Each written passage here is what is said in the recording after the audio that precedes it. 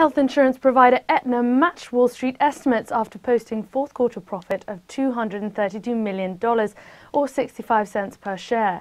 Earnings were down 37% on last year's numbers as operating and drug costs increased and the company spent more on growing its consumer and government businesses.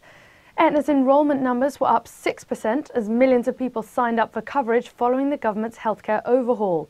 Shares jumped on the news with the stock up around 4% since the start of the year. The company is now projecting earnings of at least $7 a share for 2015, an increase of 10 cents from its previous estimates.